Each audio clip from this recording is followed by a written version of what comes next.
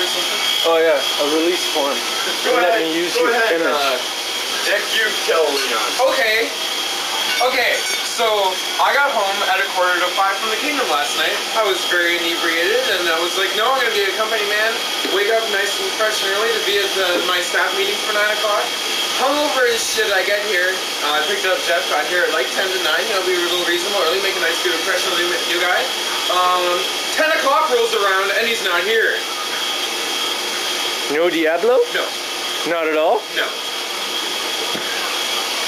Classy. Wonder what that means.